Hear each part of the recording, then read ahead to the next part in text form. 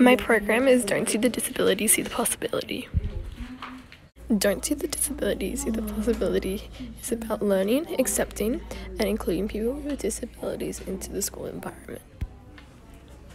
Things that would be included in this program are accessibility for people with a disability into sport, areas of the college, and more.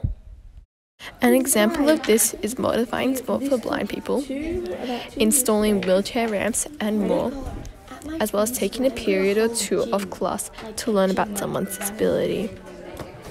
This will make people feel more accepted and included in the school community.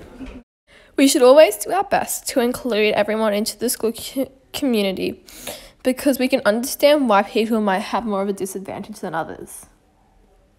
So, do your best to include people with a disability into the school environment so we can have a fun, safe, and happy school community.